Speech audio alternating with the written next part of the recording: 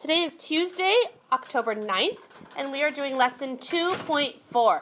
Okay, and today what you're going to do is you're going to use what you know about math facts, okay, basic facts, and also about unit form to help you solve multiplication problems much easier. So today I'm going to teach you a different strategy that can help you solve problems, multiplication problems quickly and easily. Okay? But it does involve showing your work, which you always have to do because I don't have x-ray vision to see what your brain is thinking. Today I'm going to teach you a different way to think about doing this kind of math equation in a faster way. Okay? So we did 39, yes? Okay. Is that the same thing as 39 sevens? Can I put it into word form based on what we learned yesterday as 39 sevens? Yeah? Isn't that pretty close to 40 sevens? Yes. Right? Because if I have 39, let's say I have 39 books, isn't that pretty close to 40 books? Isn't it? Yeah. So why might it be good to think about this as 47s compared to 39 sevens? Go ahead and talk at your table groups. We now know 47s is the same thing as 40 times 7, right? And isn't that a lot easier than thinking about 39 times 7? Because 40 times 7, we could just think, what's 4 times 7? 28. And how many factors of 10 are there? How many zeros are there? So I have to add one factor of 10. But would that give me, is 280 the answer to 39 sevens? No. No.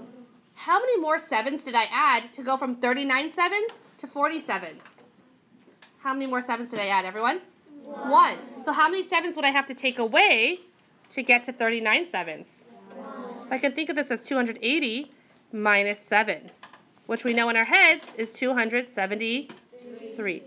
Do you see how thinking about it like that is a lot easier?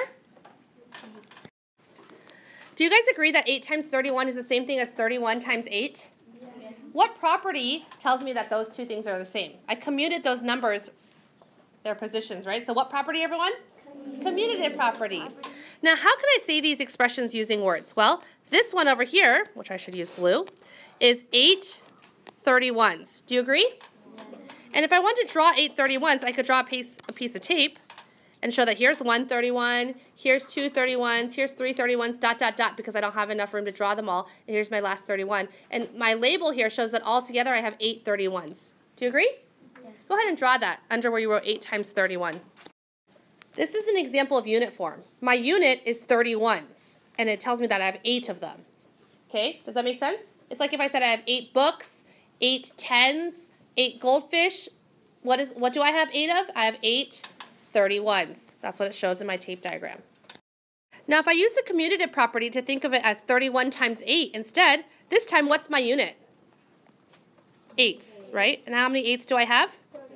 31 eighths. So again, I can draw using a tape diagram. I have this time I have eighths are my unit. Do you see how inside each box I have an eight? But then how many of them do I have? How many of them do I have, everyone? 31.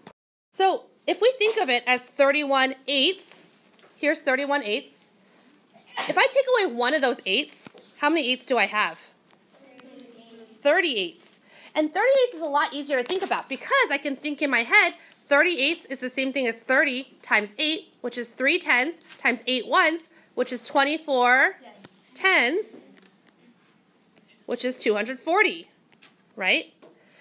That's the answer to 30 times 8, or 30 eighths. But I'm actually trying to find the answer to 31 eighths. So how many extra eighths do I have to add or subtract to get to 31 eighths? What do I have to do? I have to add one more 8. So 31 eighths is the same thing as 30 eighths plus one more 8, which is 248.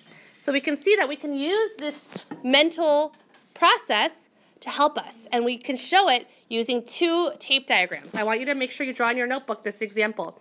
Over here you have 31 eighths, and down here you have 30 eighths, which is one eighth shorter than 31 eighths.